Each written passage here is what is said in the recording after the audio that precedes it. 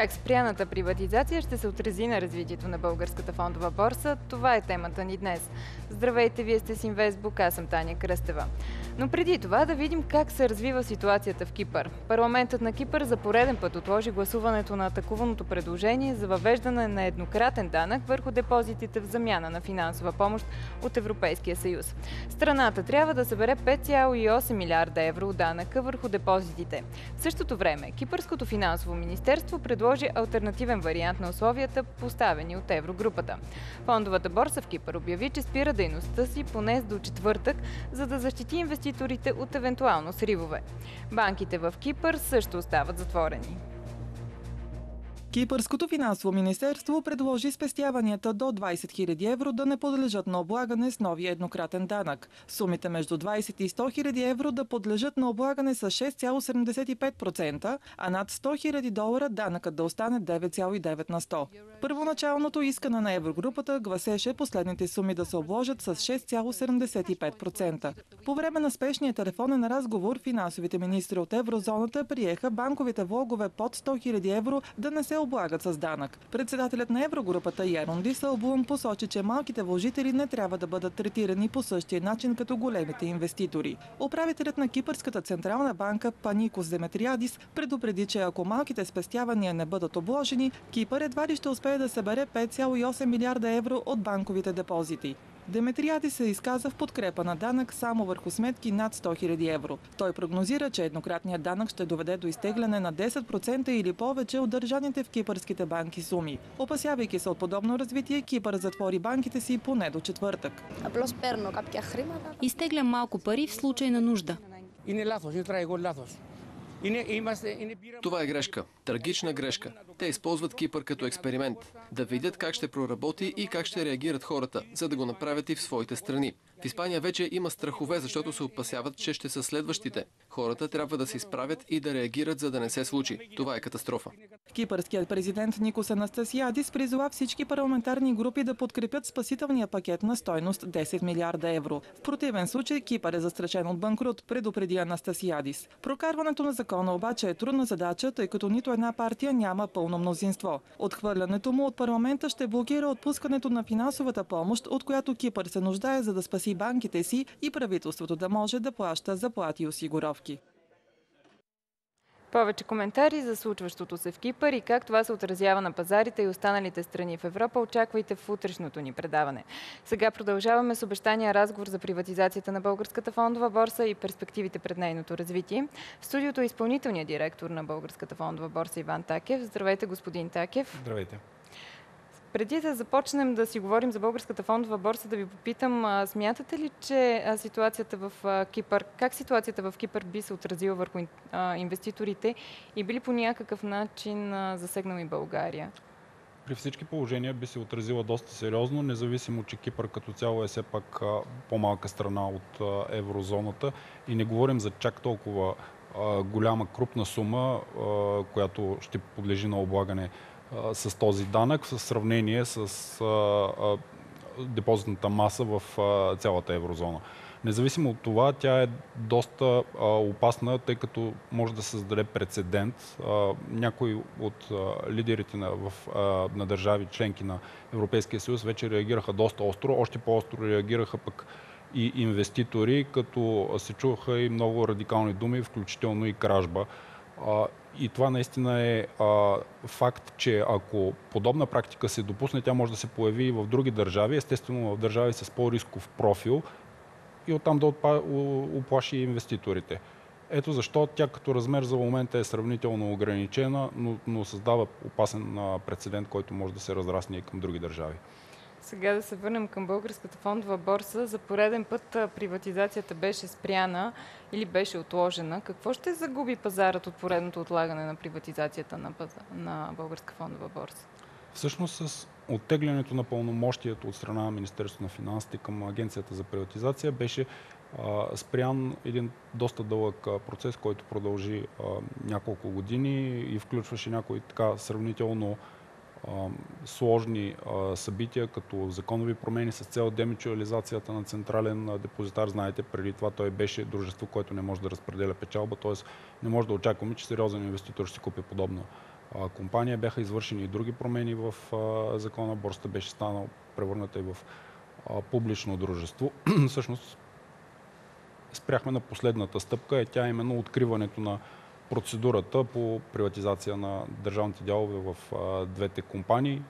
Беше избран дори и консултант, който си предаде и неговата оценка. От тук насетне обаче, кога точно и дали ще се случи тази продажба е изцяло политическия въпрос. Той няма нищо общо с бизнес дейностите на двете дружества и аз просто няма как, доколкото не съм политическо лице, няма как да гадая какво точно, как точно ще се действа. А ще се отрази ли това отлагане върху развитието на пазара? Зависи какво точно искаме да, да постигнем. Факт е, че няма голям държавно притежаван оператор на регулиран пазар, поне в Европейският а, съюз, или пък такъв, който дори да е притежаван от държавата, да няма дългосрочни планове а, да продължи по естествен а, начин своята дейност вече в а, частни ръце. Дори а, не само в Европейския съюз, например Турция, е, борсата е наистина много голяма. Тя така успешно може да се състезава вече по размери с борсите в Западна Европа и много, от много от тях е наистина а, дори в момента по-голяма, с дневни от обороти от 2-3 милиарда долара на ден. Независимо от това, тя е държавна, но бяха обявени вече доста амби...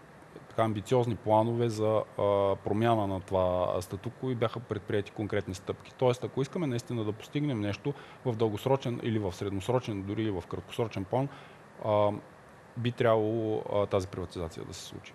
Всъщност, според а, изпълнителния директор на Агенцията за приватизация след приватизационен а, контрол Емил Караников, нищо не пречи дори на, сега на сегашният министр на финансите да използва вече направената оценка и процедурата да бъде възобновена. Да, наистина оценката е валидна. Тя използва данни към края на 2012 година и доколкото тези данни са все още актуални, процедурата може да бъде възобновена. Ако бъде забавена обаче с времето, тези данни ще станат неактуални и ще е необходима повторна оценка и повторен due diligence, през какъвто ние минахме през февруари месец от страна на избрания консултант по сделката. Тоест, евентуално забавяне от, от тук на сетне означава и повтаряне на последната извървяна стъпка. А смятате ли, че Българска фондова борса все пак има бъдеще като държавно дружество? Пак казах, зависи какво точно искаме да постигнем. А, а борста може да продължи да, да съществува и на практика да среща търсенето и предлагането на, на, на финансови инструменти в а, страната. Факт е обаче, че България е малка економика и не може да, а, да расте възоснова на ръста на економиката. Ние нямаме от друга страна, ние нямаме и големи компании, както например Финландия имат Nokia, въпреки че Nokia вече се позагуби като пазарен лидер.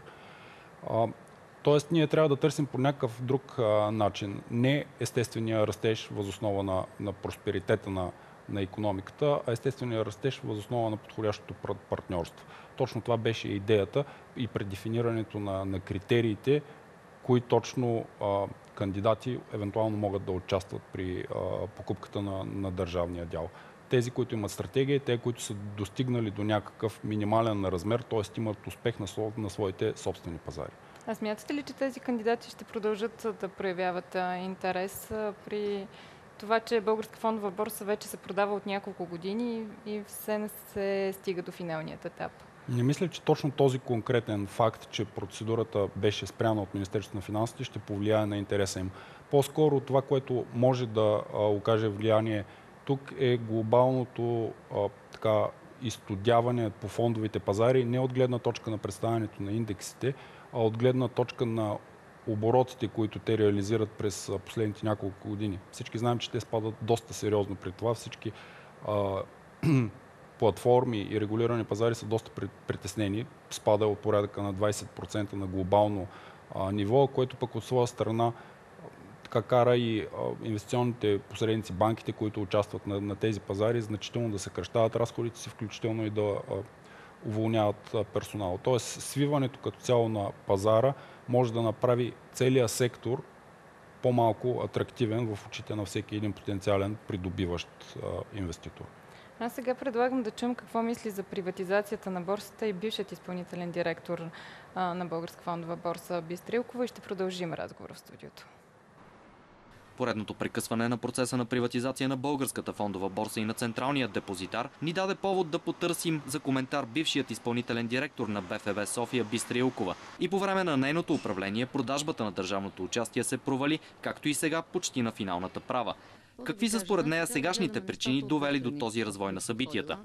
От чисто политически ход нали, на предишното правителство не съм изненадана от това, че процедурата беше прекратена. Но от друга страна веднага трябва да кажа, че за мен това би била най-лесната и най-приятната приватизационна сделка за правителството. Според мен не трябваше да се спира процедурата, специално тази. Може би трябваше да има една дискусия по въпроса, а, за да види принципала какво е а, така отношението на инвестиционната общност. В крайна сметка а, основните акционери, по-голямата част, половината от акционерите са частни компании, които работят на капиталовия пазар и дълги години очакват тази приватизация, това да се случи, за да може нашия пазар да стане видим, за да, имат, за да има бизнеса достъп до финансиране, за да не изтичат всички дълги пари на пенсионните фондове от България да финансират чужди пазари, купувайки чуждестранни акции. Работата на консултанта да на 90% беше свършена. Сега обаче с тях се прекратява договора. За съжаление, знаете, че един информационен меморандум и една правна оценка, мисля, че 6 месеца е срока на валидност, което означава отново нови процедури, нови плащания от страна на държавата, нови, нови конкурси, нови консултанти. Отидохме в края на годината. Мисля, че новия финансов министр, дори служебния финансов министр би могъл да помисли по въпроса дали да не бъде възобновена процедурата, защото няма нищо необратимо, нищо не се е случило. Тези, които биха дошли да купят българската борса и българския депозитар, това са компании, които се броят на пръстите на едната ръка. Те са ясни. Да, желащите да купят фондовата ни борса се броят на пръсти и е ясно кои са, но няма ли поредният ход назад да охлади окончателно интереса им към нас? Силно се надявам да не го казват. и мисля, че изразявам становище на всички, които работим на, на този пазар, защото е, това би било жалко за всички усилия, които бяха положени последните е, 7-8 години, за да може нашия пазар все пак да бъде технически е, разпознаваем, за да има инфраструктурата, която има, за да има законодателството, което има.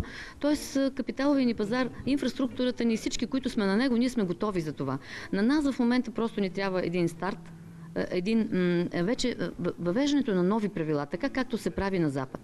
А ние това не можем вече да го направим сами. Вече ситуацията, конфигурацията на пазарите, глобализацията е такава, че не можем да минем без голям стратегически партньор. Бистрелкова в качеството си на изпълнителен директор на борсата също усети от вкуса на провалените усилия за излизането на държавата от капитала на борсовия ни оператор. Голямо разочарование ли е това за един менеджер? Не съм говорила с тях, но съм абсолютно убедена, че е голямо разочарование. Да, ако, ако аз бях сега на борсата и се беше случило това, щях да бъда страшно разочарована. Защо? Сигурна съм, че са разочаровани. Сигурна съм, че са разочаровани, но пак казвам, нещата според мен не са необратими. Всичко е възможно. Всичко е възможно. Може би новия финансов министр ще направи така дебат. Ще има, ще чуе гласа на инвестиционната общност Бистрелкова е убедена, че причината Симеон Дянков да изпрати писмото на Агенцията за приватизация дни преди да предаде поста на служебния финансов министр е чисто политическа, стратегически ход на правителството по отношение на разпоредителните сделки с държавна собственост. Но ето какво би спечелил Дянков, ако не бе прекъсвал процеса. Той щеше да направи едно огромно добро на капиталовия пазар и да остане в историята, че е приватизирал борсата и е дал старт за развитието и мощен тласък за развитието на, на капиталовия пазар в България. Това, за съжаление, не се случи. С Бистрелкова направихме и паралел между причините, довели до спирането на приватизацията преди 5 години и сега. Предишното правителство, което беше принципал, то доста направи за развитието на пазара, но не, не достигна до, до последната стъпка. Като че ли пак нямаше воля за този приоритет, нали? И, и също не беше в основните приоритети на, на държавата. А, много са помагали, не са пречили, Включително те застанаха и зад техническото преоборудване и въвеждането на новата търговска система, на която работят най-големите борси в света. Така че това беше, без тяхното, без тяхното вето, така да се каже, това също не би могло да се случи. Така че тогава, тогава имаше, между другото, разединение в инвестиционната общност дали а, веднага да, да минеме към приватизация или първо да направим борсата технически разпознаваема, видима, по-хубава, по-красива, за да има по-висока цена. И тогава мисля, че а, нещата бяха на кантар, така да се каже. Но сега, в последните две години, нали три, всички бяха убедени, че трябва да бъдем приватизирани, защото трябва да се обединиме към глобалните пазари. Нямаме друг път. Господин Теки, вие положихте доста усилия да обърнете погледите към борсата, удължихте времето за търговия, направихте нови сегменти съвместно с Централния депозитар, изградихте връзки с Букурещ и Виена. От началото на годината инвеститорите се активизираха, но след като се получи тази политическа ситуация в нас, в България се отдръпнаха. Върху какво ще съсредоточите усилията си сега? Това, върху което наистина възнамеряваме и в момента вече активно го правим, са по-скоро на ниво посттрейдинг, т.е. развитие на предоставяните от Централен депозитар клирингови услуги. Те първа това нещо ще, ще стане факт, макар че от доста време така активно се работи както върху промените в информационните системи, така и а, на ниво регулации и промени в правилника на централен а, депозитар. Това е всъщност едно от а, така, един от недостатъците на българския пазар, че пълният спектър от клиринговите услуги не е наличен за момента към членовете на, на централен а, депозитар, а той отваря така доста перспективи. Всъщност това ще позволи изключването на къси продажби и маржин покупки. Не само, за които инвестиционната но, общност така, да. Не само, но те и в момента са, са разрешени, чисто нормативно няма никаква пречка, но, но има и а, така, известни затруднения по отношение на извършването на трансфери с инструментите, които трябва да бъдат доставени по дадена къса продажба. Това са вече доста технически неща, но на практика очевидно са препани камък при, при ефективното осъществяване. Аз не мисля, че в момента всички инвеститори са толкова бичи настроени, че не биха продали нито една акция на късо както всъщност в момента А какви възможности всъщност ще даде новата система? Това са а, всичките, а, всичките услуги, а, предоставени на практика от а, една клирингова система, късите продажби ги а, споменахме, споменахме управлението на, на обезпеченията. Това е нещо, върху което се гради на практика а, клиринговата а, система. Вече а, така в ход са действия от страна както на борсата, така и на депозитара по а, гарантиране на сетълмента на сделките, респективно са а, постигнато някаква договореност между, между двете институции, как точно да се извършва вече гарантирането на сетълмента от фонда, който по-настоящем функционира към борсата. Доста е широк спектър. Не, не, не клиринговото членство пък трябва да, така, да, да улесни достъп от страна на чуждестранни а, банки, които а, потенциално биха станали членове на българска фондова борса, така че да могат като не клирингови членове на депозитара да приключват сделките си индиректно през клирингов член, което на практика ще им спести доста усилия по отношение на приключването, т.е. те ще могат да се концентрират върху търговията, това за което те основно а, са тук. Аз споменах вече за връзките с Букурещ и Виена. Ще видим ли скоро двойни листвания или желанието на компаниите за подобни стъпки се охлади през последните месеци, последните седмици? Много трудно е да очакваме подобно двойно листване в конкретния економически момент. Нали, тези процеси са функция единствено и само на, на желанието на инвеститорите да, да купуват акции. Ако дадена компания търси експанзия на пазар, е нормално това нещо а, да го направи, но ако инвеститорите не са склонни да а, инвестират, особено в компания, която идва от по-малък и по-рисков пазар като, като България, това, това би трябвало да стане при а, покачващи се пазари, а не в момента, в който така, економическата криза, специално в страната, се усеща много а, а, по отношение през финансовите резултати на, на публичните дружества. Но факт е, че видяхме така сериозно раздвижване в началото на годината на българската фондова борса. Да, но е много ам, съмнително доколко този ръст, който беше отбелязан, е, може да бъде а, поддържан. Естествено, той не може, поне и в такива размери, и, от, и, и трябва да се изясним и причините, от които е продиктуван. Според мен така имаше и голяма, ние проявихме голяма доза незрялост в конкретния случай, когато определени инвеститори тръгнаха да инвестират, т.е. се създаде някакъв а, така лавинообразен ефект в а, конкретния случай, макар и с по-малко размери, когато определени инвеститори тръгнаха да, а, да, да, да купуват определени позиции само защото други ги купуват и респективно биха изтървали от покачващите се цени. Това не е разумен начин за инвестиране и говори само за едно незрялост. Какво може да направи? Очаквате ли нещо да направи следващото правителство за развитието на капиталовия пазар в България? Основното нещо си остава макроекономическата стабилност и а, така, успешното възстановяване на, на економиката на, на страната и респективно това нещо да бъде отчетен от публичните дружества през финансовите им резултати. Това е основното. Ако искаме един пазар да привлича инвеститори, той трябва да покаже наистина резултати. Естествено, остават и много други технически работи и действия, включително и приватизацията на, на самата борса, но макроекономическата страна е основното за всеки един пазар. А при малка економика и, и слаби резултати от компаниите няма как да очакваме нищо съществено. Аз много ви благодаря за участието в предаването. Продължаваме с повече информация за соларната индустрия в Китай. Какви са проблемите и какви са предложенията за тяхното решение? Чуйте повече от колегите от Bloomberg. Сега при нас е новият енергиен специалист на Bloomberg, Натаниел Булард. Как се стигна до тук? Мисля, че беше преди около седмица, когато се говореше, че Сънтек водят преговори за дълга си. Получиха два месеца отсрочка. Това очевидно не беше достатъчно. Излиза, че ако преговаряш за 60% от задълженията си, то все пак остават 40% от тях неуредени. Основният проблем за компании, които са притиснати от дълга си, е, че трябва да поддържат обслужването на дълга си и когато трябва да плащаш, започваш да продаваш още и още. И това продължава. Тази ситуация всъщност показателна ли е за цялата индустрия? Това е много добър въпрос. Може да се изтъкнат две неща.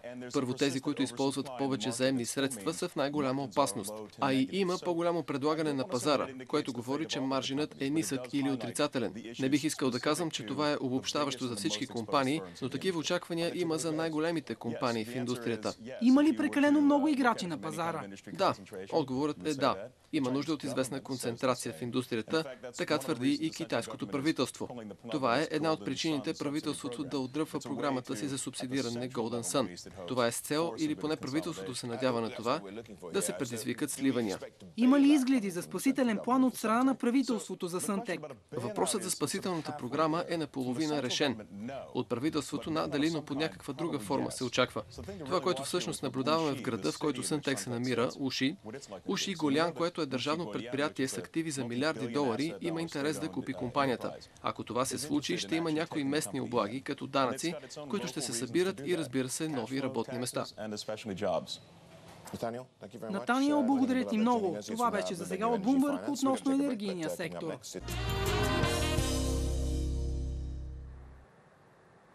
Това е от нас за днес. Ако има теми, които искате да видите в предаването, пишете ни във Facebook или на нашия имейл, който виждате изписан на екрана. Всички издания на предаването може да гледате на нашия сайт. Останете с телевизия и радио България ОНЕР.